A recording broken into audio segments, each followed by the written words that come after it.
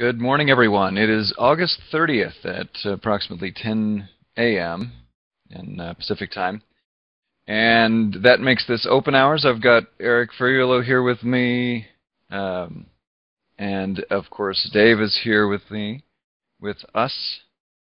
And that's what this uh, open hours is going to be about. We're checking in with Dav. He's released a couple of, well, I guess one. How many things? I don't even keep track of how many things you release on a daily basis. Your GitHub account is just just repos upon repos upon repos. I don't know how you manage anything in that space anymore.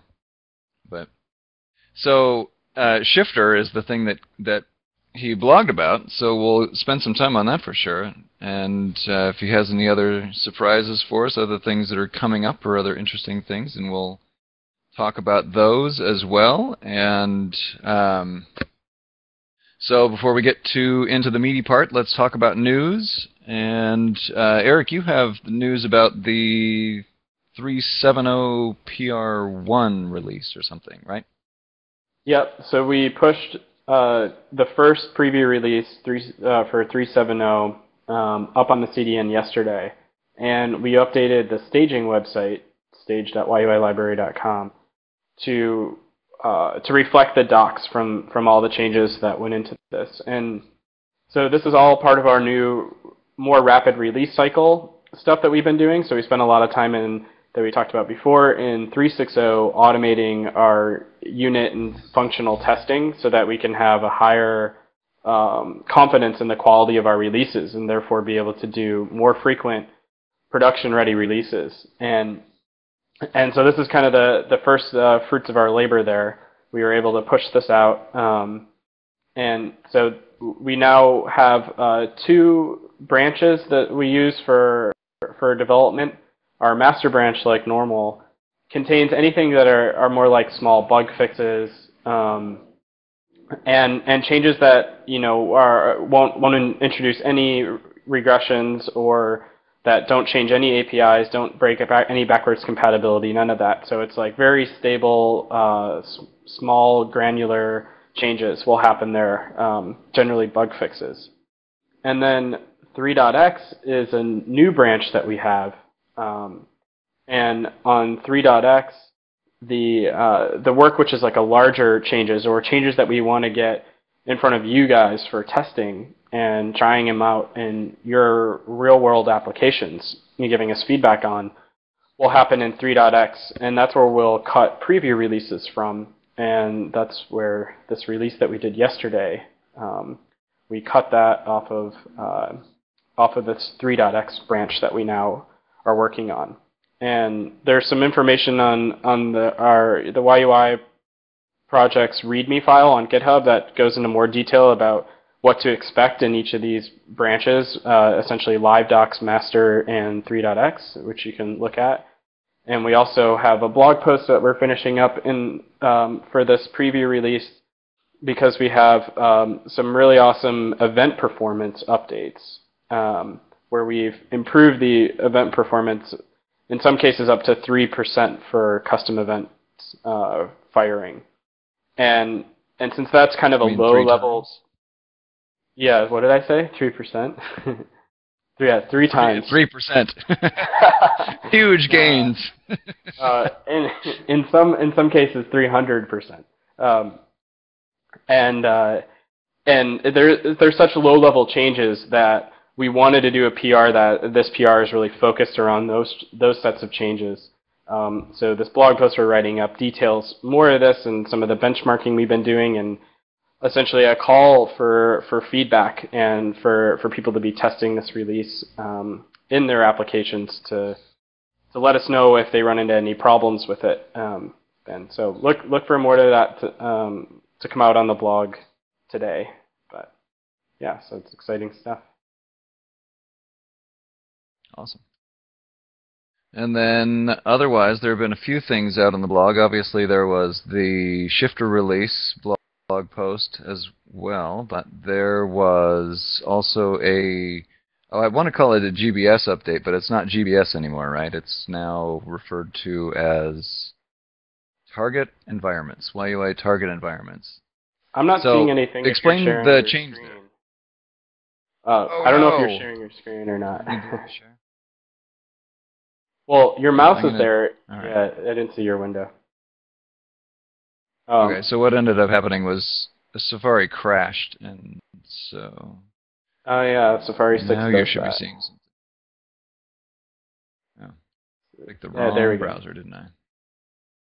Um, Right. So yeah, so there's now target environments. Yeah, so what what we tried to do here, and, and we did this last year, is we decoupled this idea of which browsers we were testing on um, from graded browser support, and and really why we wanted to do that is like graded browser support. We wanted to talk about more as a philosophy, and essentially it's just progressive enhancement, like a development philosophy that that we're trying to uh, push and um, and something that we try to make sure YUI adheres to the, the progressive enhancement philosophies. Um, and so what that meant is we wanted to instead say, instead of saying which browsers we think everybody's application should work on, we wanted to instead have this matrix of which browsers YUI is tested on.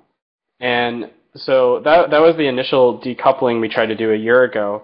Um, but we took it a little step further and we plan to go further with this which is to um, to change the the way we talk about this and instead call it the YUI's target environments or the runtime environments in which we make sure that YUI works on. Um, and it will work on more. Like people asked us why Opera is not on the list, and that's that's basically because Opera usually just works. And if we do get bug reports for problems in Opera, we'll fix them in, in most cases. Like they're usually pretty trivial for us to fix um, when they do come up, but it has such a low market share that um, devoting resources to it is just not as practical for us. Um, so uh, with some of the changes that we have coming down the pike for um, for automating testing, like taking it to essentially an, another level with Yeti, when we get that in, when we get Yeti integrated with our CI environment, we'll be able to have more devices that just our tests are constantly running on every time somebody pushes new changes into the library. And so this is the first step at that. And the other big thing is we wanted to add Node.js to this list. Um, and essentially with the caveat that um, we're recommending that people use the modules in YUI that do not have a DOM dependency in Node.js um, because Node.js doesn't come natively with, a, with the DOM API implementations. Um, now there are some, there are some third-party NPM modules to do that, um, but there's a pretty big performance cost in doing so.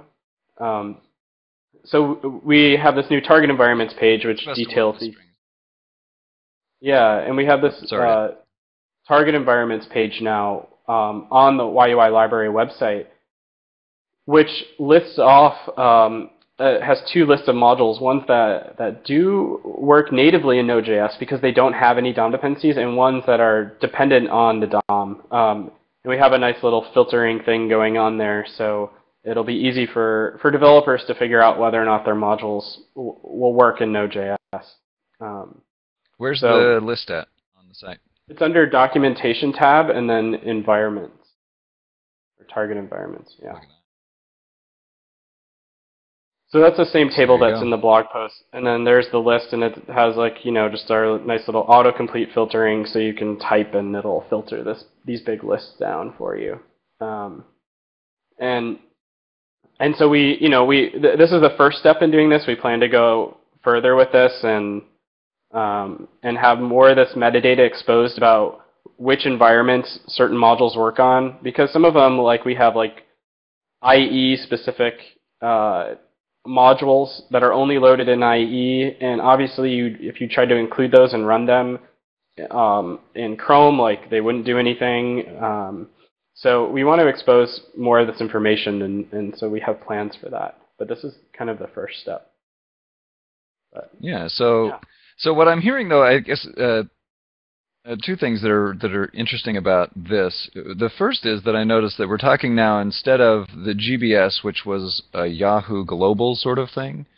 The YUI Yeah. target environments is now focused more on YUI and what we do with, with YUI specifically with the library. So then that raises the question: Is this then uh, a reasonable baseline for browser testing? for your own applications, uh, or is that something that you m- might start with this and then choose your own discretion? Or Well, we, I mean, we kind of think that people should should really analyze their um, the the types of devices people are using their applications with, and tailor their development towards that, and and what type of you know uh, business goals they have or whatever, and what type of technology like resources they have. So if they don't have if they have like one percent using IE6 and there's only three developers in the company or something working on their web stuff, then they probably should ignore it, right? And but we want to make sure that people understand what browsers YUI is tested on so that they can feel confident that, oh, okay, well, I need to support IE6 because it's 10% of our users. Um, will YUI work on IE6? And the answer is yes. And, and, and that does, and with the way that we have our modular architecture, uh, somebody who comes to your website or web application using Google Chrome does not have to incur the cost of this extra code we have to add to support IE6. That those modules are only loaded in that environment. Like so, a person coming with to your app with IE6 will get this additional code to make sure that it works. Where Google Chrome um, will will be you know not having to incur that overhead. So. So then the other question was that since this is now talking about, well, th- this is somewhat of a, of a carryover from how uh, GBS, the life, the, the regular updates of GBS uh, in its previous incarnation. Now we're we're still in the in the realm of more rapid updates of browsers and Node.js is versioning. I guess the Node.js versioning is slowing down now. Dav, would you say that that's accurate? Oh, he doesn't have his mic on. Slowing down, but it but is Would you? it's not slowing down. It's it's uh, stabilizing, which makes it much easier for us to to work inside of it. But it used. It seems like it used, it used to be that uh, version you know dot four came out and then uh, version six came out, and uh, there was a, a X amount of time between those two, and the time between six and eight was that a greater amount of time, or is that about the same amount of time, or would we expect uh, dot ten to come out much much later, or are they going to 1.0? I don't I'm know if they're going to up. 1.0. I I just know that uh, 9 is actively being developed on because that's what I run locally. Yeah. And then as far as iOS 5, um, when when iOS uh, 6 is out in broad distribution and uh, Internet Explorer then gets in broad distribution, I noticed that Chrome and Firefox at least lists latest stable, and Safari on desktop is now latest stable. Um, and it's interesting that now the with it makes sense for Chrome that the auto updating happens, but I didn't think Firefox was auto updating yet, is it? It's just recommending Well, updates there- still. Yeah, I mean it's essentially auto updating, but um, but I mean they're they're trying to get to where Chrome's at, right? so Yeah. uh, so the other thing too with with iOS uh, 6 and IE 10, so uh, internally we are testing YUI on these on these browsers, and what the idea is that when they since they're still somewhat in flux, like there still be changes made until the final release of the first release of Windows 8 and the first release of iOS 6. Um, Mhm. We're holding off on putting them on this list, um, and when when they do land, then we will update this list to include them and make sure to regularly run all of our you know functional and unit tests against these browsers and make sure to try to address any issues um, before they land uh, in their you know first public release. Okay. Well, that's cool. i I'm hoping that since it sounds like the the management of the target environments, the YUI target environments, is now uh, firmly in the hands of YUI, and it's not necessarily affected so much by uh, by Yahoo globally. Does that mean that we can expect to see target environments, the target environments, updated more frequently? Because GBS had a tendency to lag behind at times, or not get updated very frequently there was a bit of uh, management churn, as I recall, in terms not management churn, but I mean um, uh, red tape in terms of getting it updated in the process of meeting and discussing what was appropriate to include, that sort of thing. Yeah, I Or think. is that just wishful um, thinking? No, I, I think it should be. We should expect it to be updating as you know these these newer browsers are coming out and not lagging behind uh, with that because we want to make sure that YUI is fully tested on those. Okay. Well, uh, we could probably talk about target environments in GBS for quite a while, but this we're here to talk with uh, here to talk with Dav. So let's get busy talking with Dav. The last point that I want to mention before we start talking with Dav is that YUIConf is coming up. We are doing YUIConf again this year, and uh, it'll be about the same time, uh, targeting first week of November, I believe is what it is, and pretty soon we'll be uh, sending out some communications about how to submit your talk proposals. So get busy thinking about interesting things that you're doing that uh, you've heard of being done, uh, some things that have changed in the last year, or particular implementations that you think are worth sharing, talking about, creating presentations, because we definitely want to hear uh, hear from you and your experiences, and and uh, we can help you come up with ideas. But uh, get busy thinking about that, and we will get um, we'll get some communication out in terms of how to submit talk proposals pretty soon. I don't know the specific schedule of that, but it won't be too last minute. But plan ahead, November, YUIConf. And now, uh, Dav, I'm going to pass the pass uh, screen sharing control over to you, so we can talk about the stuff that you've been working on.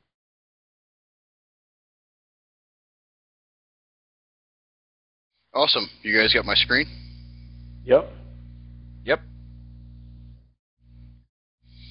Okay, so uh, before I get into Shifter, I want to jump over and talk about the uh, the YUI lint package that we put out because it directly involves Shifter and one of the other tools that I'm working on. So the the lint package is basically YUI's rules for linting, and it's what our entire team uh, is expected to standardize on, so that when we run lint from any of our tools, we will use these rules to apply to them by default. and this was the first iteration, and I actually did it in one night because I needed it for Shifter. so we've got a, an update that's going to be coming to it really soon. But the basic idea is, is that we have uh, two primary lists of uh, lint rules that we abide by. the preferred list is where we want to go. We want to make sure that everything in our system abides by the preferred list. That is why Shifter automatically uses that by default to tell you what's wrong with your code. And basically, the preferred list is just the, conf- the configuration for JSLint. The the main part of you know the predefinition of all the things that we can expect being global, um, setting max errors, you know the, that we're in the browser, that we're running in Node, that type of thing. Uh, the only real rule that we use is the no, nomen because uh, according to YUI coding standards, anything that's private or protected needs to be preceded with an underscore. That way, when we're inspecting objects, you can just tell by looking at them that you really probably shouldn't be mucking with that with, unless you know what you're doing. Uh, we don't truly make anything private in the library because of the fact that we're a library. We want external people to be able to patch and extend it in case they have a problem. Uh, if we made everything truly private or protected, it would be extremely hard for for us to issue patch releases or for uh, people to, to do a one-off to fix an issue that they have right now without having to wait for us to, to actually do a release for it. So, given that, that's where we want to go, but we do realize that you know it's a very large library that we haven't had a whole lot of strict guidelines when it comes to this before. We put together the optional list, and you can choose to pick that to to run, uh, just so you don't get so much clutter across your builds until you're ready to actually fix all those issues. Because we do know that it takes a while to go through and and fix a lot of these issues. So we wanted to give you a, an easy way to migrate toward the preferred version, uh, so that the the optional list, you know, it allows you to use double equals instead of triple equals. It doesn't care if you don't have a use strict in it. It lets you use plus plus and minus minus, and uh, white spaces. so that it ignores white space rules. Uh, eventually, you know, we want to to get down to only having the one rule on JSLint. And, and then the, the third list for that is actually the special list, and these things are ones that we feel are okay in certain situations, but not everywhere. And when you use these in the code, you should actually use the, the JSLint uh, code comment inside the function that you're actually using it on, and document why you're using it. That way it doesn't apply to the entire file, it only applies to that chunk that you're actually working on. And then you know explain to why you know why you're actually using these and why you're choosing to break these rules. That way when somebody else comes along and looks at it, they understand why it's being done that way. Does that make sense? Yep, Yeah. yep, yep. So Yeah. the the the thing that we ran into is that we do know that there's a difference between the source files and the build files. So what I'm working on is I'm working on a differentiation between these two to say scan the source files with a certain set of rules, but scan the build files with a different set of rules. Because of the fact that when we add the YUI wrapper around it, then the white space rule gets borked. You see what I mean? If you if you do it on source yeah, and everything's. Right. So if when you do it on a source file and everything's aligned over to the left, you know, to make JSLint happy, uh, when you run the build on it and you put the wrapper around it, now JSLint's going to be upset because of the fact that your source file is indented all the way to the left, but you have a wrapper. So it makes it a little difficult to to figure out, you know, which you know which one is is best. So what we're going to try to do is actually make the source files abide by the white space, but ignore the white space for the build files. That way your your source files still all look pretty. They're all aligned to the left. We don't have the that extra, you know, the extra tab and stuff to get over there. Uh, to that way everything is aligned and it looks pretty because we also put this in the API docs. So when it gets printed into the API docs, it needs to, you know, not have all the extra fluff around it that we were uh, originally doing, you know, because the YUI.add was wrapped around it. Right, right, right. So there's a. Are you seeing the comments in chat or no? Yeah, I'm seeing them pop up, but they go away so fast I can't read them. Okay, so Juan asked if you can disable JSLint. Uh, we currently know because we want this to be standardized. And that's the whole point. If you're building a YUI module, you need to abide by our rules. So for local building, then well, I guess the then that makes Shifter targeted specifically for uh, YUI modules that are aimed to contribute back to YUI. Then, And or gallery. is just this is a best practice and This is a best practice Just for. YUI. So this this is a YUI build tool. It builds YUI modules, whether it's in our core modules, your modules, or a gallery modules. I mean, look at if you've got a, a, a group of 12 developers working on something. If everything's not standard, it's really hard for them to share. So you can't really expect two people to work on the same code base if everybody does everything differently. yeah, well, you don't need to convince me the value of lint. That's for sure. Right, and, and that's and that's the whole point. That's where we f- we feel that if we abide by these rules internally, then it's going to be easier for us to go on and allow other people to help modify our code if we have these specific rules in place. Mm-hmm. Yep, yep, yep. So then you said the YUI lint, this YUI lint project is being used uh, in two projects that you're working on, right? And Shifter Yes. obviously being one. Yeah, I'll talk about the other one after I'm done talking about Shifter. All right. Uh, so the the next thing we're actually going to add to this project too is also CSS lint rules, but we we didn't have enough time to actually get those into the first revision of this. So we're working on getting the list of the CSS lint uh, configuration op- options that we want to abide by and putting them in here as well, so that we can pass those off to a CSS lint inside of the build tool as well.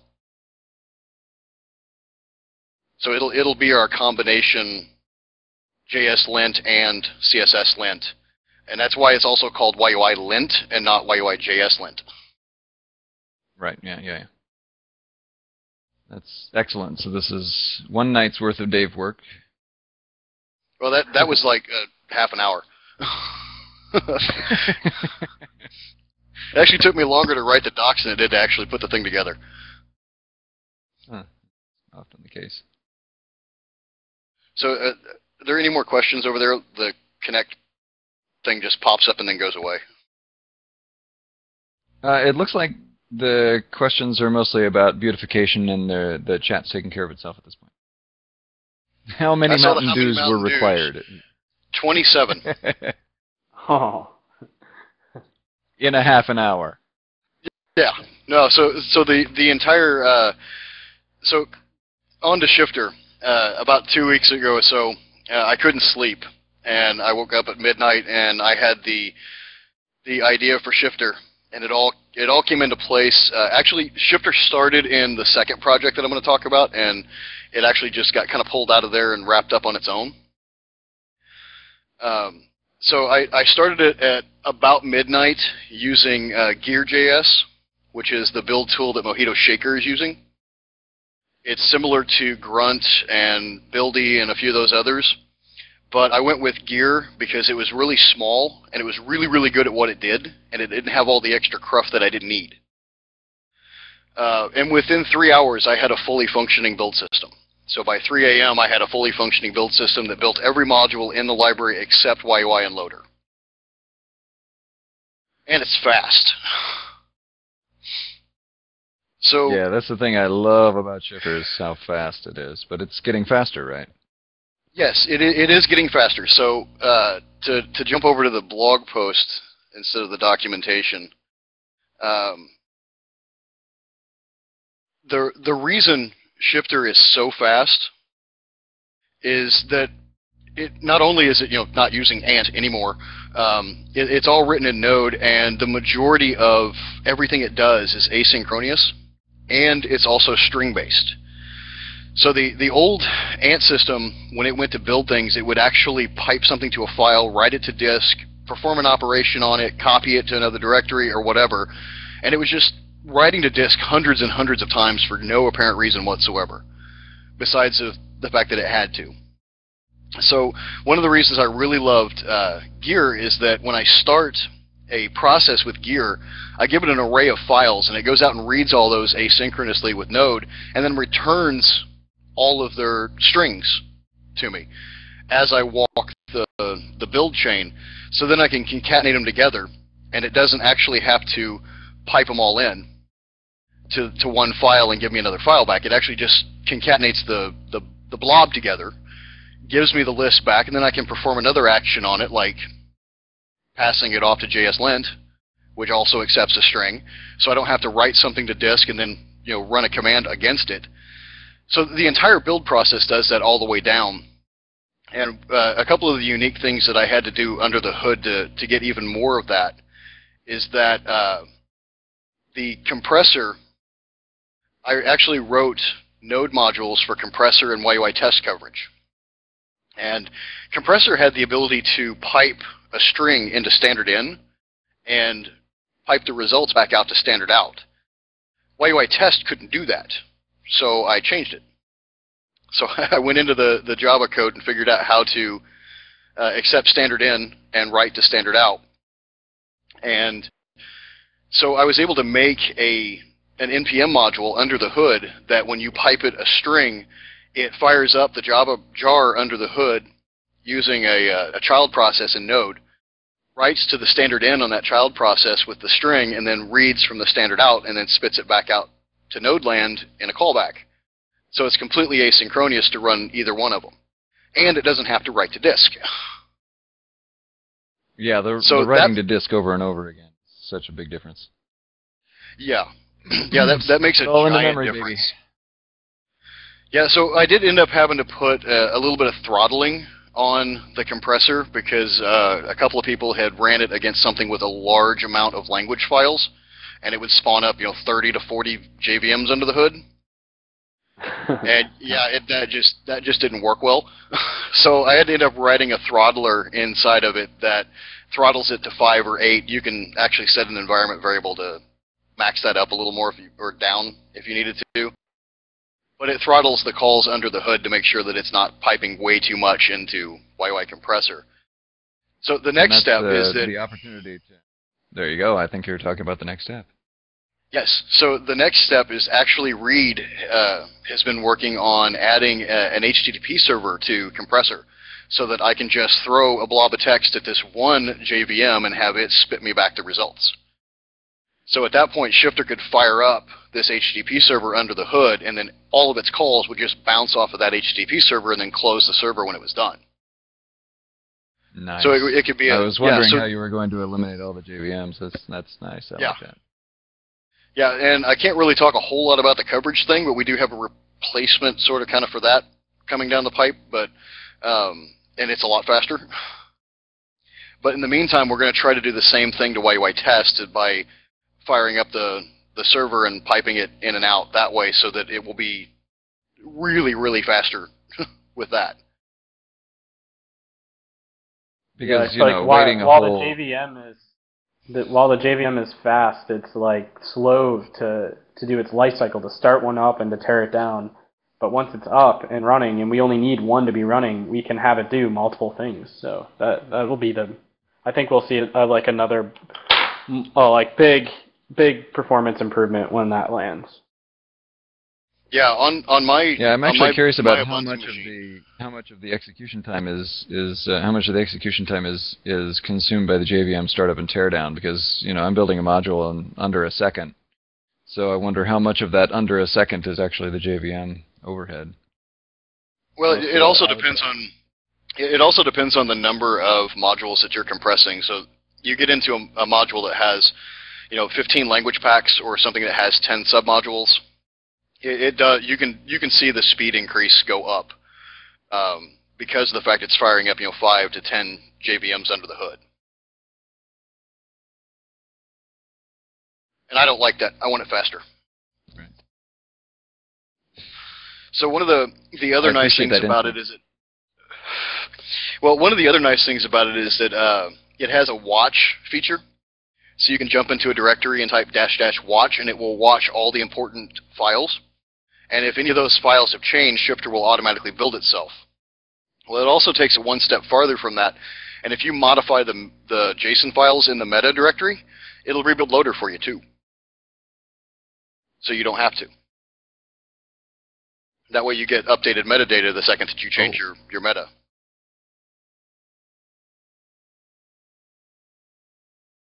So, I, the- I think I missed just how awesome that was. Can you say it again? all right. So if uh, if you're using the watch to watch your module, it will, and you change a, uh, a a file under the hood, it will use Shifter to rebuild itself. But if you change something in the meta directory of loader's metadata, it'll actually rebuild loader too. That's so awesome. so, where's the where's the watch so- tool you said? It's actually it's shifter dash dash watch, and, it, and it's in the the API documentation. Excellent. And that works for existing file uh, existing modules only, or uh, Anthony noted in chat that it it not if it's a new module. Uh, it should, as long as there's a build.json file there, it should work.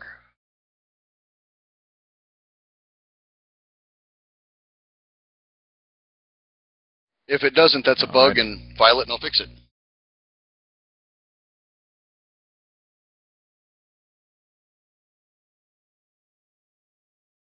And Satyam's asking right. if you can keep an eye on several sources in the same project. Uh, right now, it's module specific. I haven't done a directory up yet, but I plan on adding that. Because Shifter also has a dash dash walk, W A L K, that when you go up into the source directory and you do Shifter dash dash walk, it walks through the entire module directory and builds everything underneath of it. And you can also pass dash M for a module to limit to those certain modules. So what I want to do is do the same thing for watch, is say shifter dash dash watch dash M, this module dash M, that module dash M, the other module, and it would watch all of them. But I didn't quite get to that part yet because I needed it to I needed to actually build all of YUI before I started adding more features to it. Yeah. And also, there are other really interesting things in uh, in the pipe that you want to get to that you could be doing instead of building those features too. Yeah, yeah. So the the uh, the the main reason for doing this was was not only to get rid of Ant, but it's also to help with our Travis pull request system because a lot of people are submitting pull requests and not attaching their build files to it. And unfortunately, that makes our Travis pull request test unusable because it's not actually pulling in their build files to test against. So what I'm what I want to be able to do is whenever a pull request comes in, I find out what module needs to be changed and I can run shifter on it very very quickly to build it before starting its tests. And eventually, we would like to get rid of the build directory completely out of source and let you run everything out of uh, Shifter. Just have Shifter rebuild the entire library. Yeah, that's nice. I like that idea. Just sending. Well, you'd just be managing the source in the uh, the repo would just have the source. It wouldn't have the build, and then the Right. build would just go out into the dist. Yes. Yeah, but the uh, the biggest problem with that though is is switching branches. When you switch branches, you would have to completely rebuild the entire library.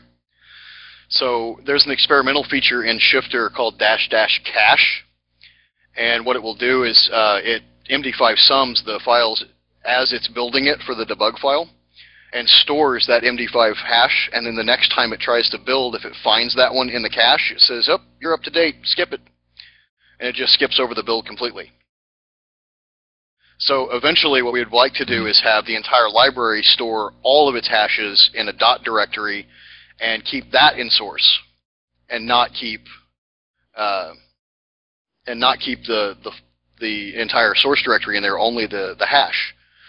And then when you have your local build, it can compare against the hashes and rebuild only what it needs to rebuild uh, because chances are when you're jumping from branch to branch, there's a good majority of the, the library that still hasn't changed. Only the certain modules that have been worked on in that other branch have changed.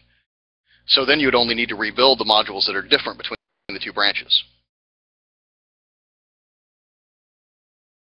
Right. That'll. Yeah. That'll obviously make Yes, a big that- difference. Yeah, so that, that's taken several modules from 5 to 6 seconds down to 0.5 seconds because they don't need to be rebuilt.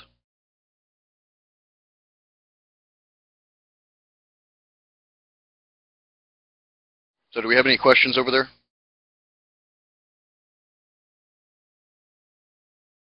Oh. I can't see. Uh, them, let's so- see. We have Evan. Evan asks if he could get a shifter init command. And I don't know what that means. Uh, and that Juan will was in- clarifying that we do or do not need to send build files.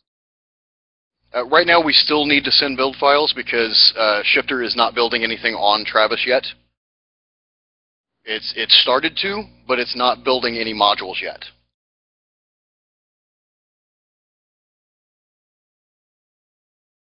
Shifter is actually being used to build the NPM module on Travis, so it's getting there. I don't quite have enough Mountain Dew to get it all done yet. And I think for, for Evan's question, Dav probably has um, a better tool for the job of creating a new project Yes. or module. Yes, so that's the one I was going to talk about next now that I've only got 20 minutes left. So that's it for shifters. Now, now I was saying that there was a command line tool that I actually pulled shifter out of, and, and that's the tool I've been working on for the last, know, six months or so. It's called Yogi. and uh, Yogi is going to be the de facto way that you work with YUI tools and gallery modules. Um, let me just show you a little demo of it. So can you guys see that? Yep. Okay, so I'm in the. All right, so I'm gonna. So I'm gonna go over here to the three inch branch. You can see that there's nothing there but the build JSON file. So Yogi Yogi's here to help.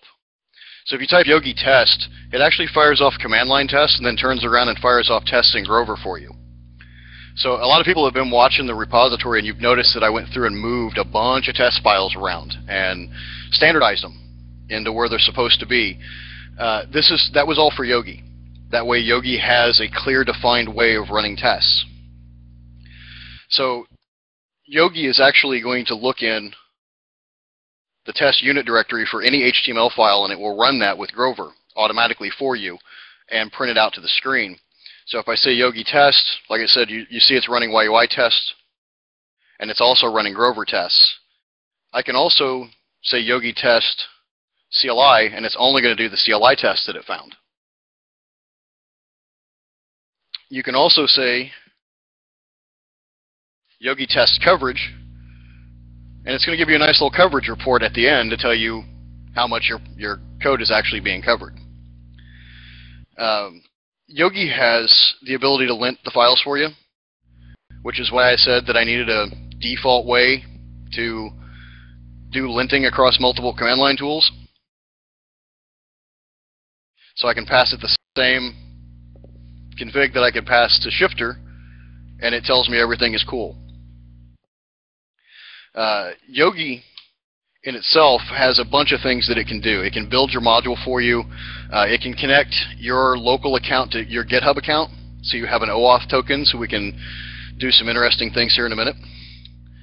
Uh, you can log in and log out with it. So Yogi login and log out allows you to log into the YUI library site, and it will get you a token from there that you can use to access the API and do some nifty things from the command line. And uh, so I'll, I'll, show all those in a second, but then we've got Yogi pull requests. That's a new one.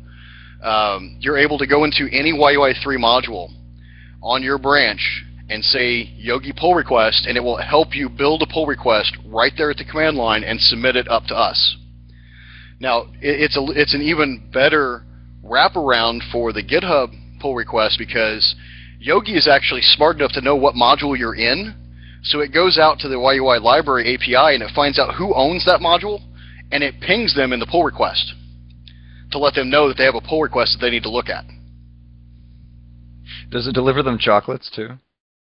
No, but if I can find a way to do it, I'll do it. It steals picnic baskets. Yeah, yeah. So Yogi Yogi steals picnic baskets. So I was now, thinking it could also return in uh, inane quotes or something. Uh, actually, it, it does. If you just type Yogi Boo, it'll give you a Yogi comment. what does Yogi stand for? I was actually Dav? thinking of Yogi Berra, but that's also. Um, Yogi stands for the, the YUI or gallery interface because it also works on the gallery. So before I get to that point, you can actually do you know Yogi build, and under the hood it's going to use Shifter, which ah broke it. That's what I get for using my, my latest stuff. Demo gods.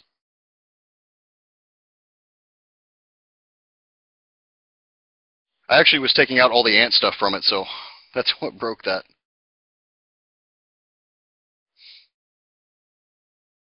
So it's tying a lot of these other um, specific command line tools that you've written uh, that we have together, essentially. Yeah, yeah. So I'm I'm going to get to that one in a second as soon as I can do this. Nope, still killed it. All right, so under the hood, it would actually run Shifter. Um, but here's where it ties in everything else. If I go into a module and I type Yogi Serve, you'll see here it's actually fired up a web server on port 5000. If I jump over here and take a look at port 5000, I've got the Yogi server. You guys see that? Yep. So here's the Yogi server. Uh, I'm actually yeah. showing you your examples exactly the way your example and landing page is going to look. So you can run your examples and see everything from here. So this is the full Selleck. That way you can use all your stuff right from here. All right. Also showing you your API documentation because under the hood it's going to fire up a YUI doc server and allow you to take a look at your API docs in real time. So if you modified either one of these, your examples or your API documentation, you just reload the page and Yogi's going to show it to you. And now it's finding all of the API docs for the other modules there too, right? You know, yeah, for for YUI it actually does your stuff with other stuff. Yeah, for for the YUI project it does. So it will actually bump itself up a directory and show you everything. Oh, Um, nice. Yeah, that that way you can see how it interacts with everything else. I haven't quite gotten that to work with Gallery yet, but let me let me finish with this one. Um, it'll actually show you your unit tests, so you can run your unit tests right here from the browser. And the nice thing about it is that this is a, an actual server, so you could take this URL and dump it into Yeti and have Yeti run the test against it. Oh. And it also has a predefined one here that shows you coverage. So the test console actually reports how much test coverage you have for the module that it's running on.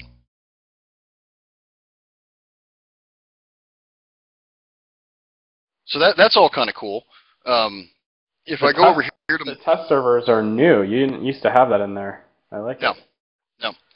Um, so if I go over here to my gallery module, I can say Yogi update. Now, update is a it's a development command, so you want to actually be able to use it inside of the uh, um, in, inside of what's on there now because I have it restricted at the moment. But basically, what it did was it converted this gallery module into a real life module. So we have an assets directory, a CSS directory, docs, meta, tests. Um, it, it actually it, it got quite smart. Um, in the docs directory, it actually creates a component.json file for Selleck, and it uses the information from the, the gallery API. So it goes out and fetches your information from the gallery API and integrates it in here. Uh, and it also uh, creates your an index file that pulled your information from the API as well. So it has your code snippet, it has your your summary and description from the actual gallery. Um, and then uh, the other thing it does is it creates the meta directory for for loader. So if you look in the meta directory, we actually have a JSON file that loader can parse and build loader metadata out of. So that this turns a gallery module into something that's exactly like a real YUI module, including your tests. It'll create a test unit directory, and it will actually create a default test. So in order to test this, let's type yogi serve inside of here, and go back over here, and you'll see it's now pulling the gallery module in. And from here, I can go look at its landing page and see what it looks like. I can also look at its API documentation and see exactly what it looks like. And I can run its tests. And you'll note there is no test for this, so automatically Yogi's going to put in a failing test to let you know that you have no tests for this, it's always failing.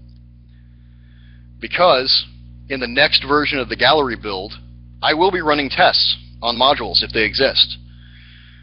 So once we get the, the modules converted over to this format and the gallery build to build it, it'll actually become part of the YUI website like this. So you can see that this is inside of the YUI lib library site. If we go and look at the user guides, there's a section. Now, this is none of this has been skinned. This is all just functionality wise. So you see that there's a gallery module here, and when it shows up, this is the gallery module. This is everything that was in in the thing that you worked on. So you have full control over your API docs, your examples, and your landing pages. And then we've got this new little blurb over here in the corner that I haven't quite finished yet. It's stats. So we will be collecting coverage numbers and the number of tests that have passed and failed and the number of modules in the system that require this module.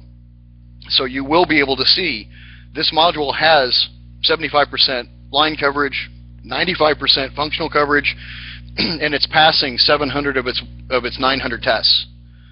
And there are you know 14 other modules in the system that actually requ- require this module.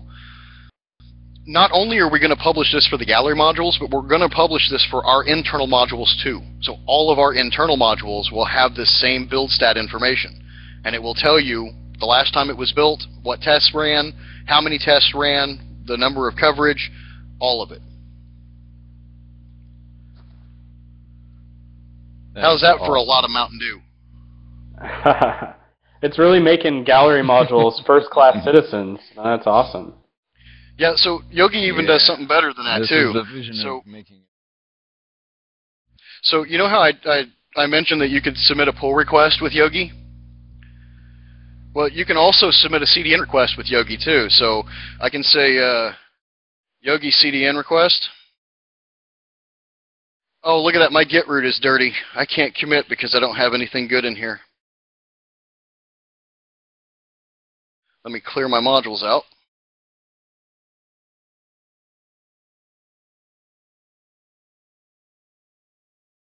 Oh, I had that command around here somewhere. There it is.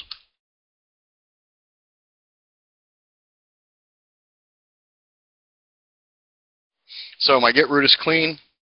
Now I can say Yogi CDN request, and it's going to ask me which one of these commits that it found that I want to use. I'm like, sure, I'm going to use the default one. Oh, looky there. I have a gallery module in the CDN queue. No website, no nothing, straight from here. And it actually tells you that you have one in And the CDN the, request uh, queue too. And you have the tools now to create the documentation, have that local server. So from the command line, you just set up the server, you create your docs, you create your tests, and you there aren't any additional tools needed. You just go to the to the URL that it spits out from the, the Yogi server, and as you're writing your docs, as you're writing your tests, you get to see it right there. And then when it's all done, boom, and out it goes, all from the command line. Right. Yeah, so that that's the goal for Gallery 2.0 is to get all of this in so that module Gallery modules actually look and act like real core YUI modules. And some of the, the little features that I'm planning on adding to it is that I'm going to actually build the Gallery build system in the open and runnable on Travis. So you will be able to push the module up and it will fire off a, a personal Gallery build for you so you can see whether your change broke anybody else's or somebody else's broke yours. And that'll all be done in the public on Travis. Uh, one of the other features that Gallery 2.0 is going to do is it's also going to break the hard requirement of forking the YUI3 gallery. You'll be able to have any GitHub Ooh. repo as long as it follows, as long as it's configurable and it follows our directory structure. You'll be able to use any one of them for any module. So that is where the init comes in that I haven't built yet. That you'll be able to say Yogi init and give it a name. It'll go out to the, the the API and find out whether you can use that name or not. And if you can, it's going to create it for you, mark it as pending, and then create all the stuff in the directory for you. And then you, you have a fresh thing to start with. You have a default index page, a default test, a default JavaScript file, you know, everything that you need.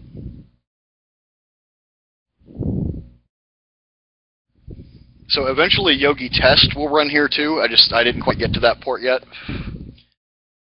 Uh, because the gallery module also relies on YUI, so I have to make the testing system not only pull in the gallery modules, but it has to be able to pull in YUI to run the tests. But it's getting close. I think, the, yeah, the, I think the silence you're hearing is just the jaws dropping. So is is Yogi smart enough to know like um because it seems like certain commands only make sense if I'm in the gallery or if I'm in the YUI project. Is Yogi smart enough to realize that um, when I'm running it inside of a particular project that it can do different things? Yeah, so here, this is inside of my gallery module doing a Yogi help. You'll see the CDN request help. Oh, we actually are just seeing your browser. I think maybe there's something wrong with the connect thing. We're not seeing your terminal window.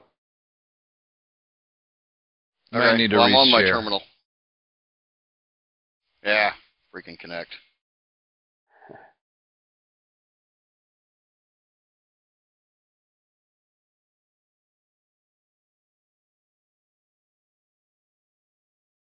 Got it now? Okay, now we see it. Yep. Okay, so in, from There we go. inside of my so from inside of my gallery module, typing Yogi help shows me CDN requests. But inside of the YUI library, it shows me the GitHub connection and the pull request. But there's no CDN request. Nice. So it knows the difference. It knows Hmm, it knows when you're inside of that's YUI versus anything else. Yeah. Yeah. So you know some of the other things that we're looking at too is is to have Yogi uh, be able to to put in a strict mode that would then actually write something into your local .git uh, pre-commit hook that requires it to pass tests before you can commit. You know, just little things like that to help people make sure that when they're publishing something, they're not actually publishing something that breaks. And on that, you know, uh, as of last week or the last gallery build I did yesterday, took 57 seconds. So we're going to have really nice, fast gallery deployments uh, and, and seamless operations. So that's all I got. I mean, we're It's pushing nice at one o'clock. So It, so is it available Yeah, for yeah. people to start using now, Dav? uh, yeah, Yogi is on npm right now, so you can do a npm -g install Yogi. Uh, but it also comes with that giant warning at the top that says this is experimental. Use this at your own risk. Because I can't guarantee that I'm not going to change something under the hood. Um, the the most important part though is that gallery owners should not delete their ant files yet because this is not part of our gallery build. I still have to write that. And once it does, then it will use Shifter under the hood, which will automatically convert the ant files into a build JSON file and run. But they can But move over to Shifter right now. Right, as long as they do not delete the ant files yet. Because if they Hmm. delete their ant files, the gallery build will not work. Uh, thanks again for, for coming in. And uh, so I think let's close this out. So for uh, Eric and uh, Dav, and this is Luke, and we'll see you um, uh, next week.